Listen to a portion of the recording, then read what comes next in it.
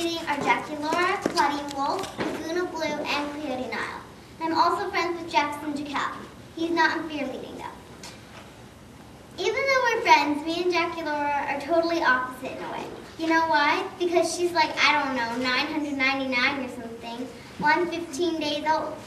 You know something funny though? Most people don't really notice because I'm the same as a normal teen.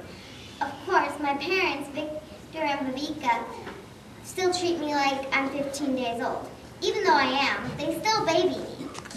And then I have my little dog named Watzit.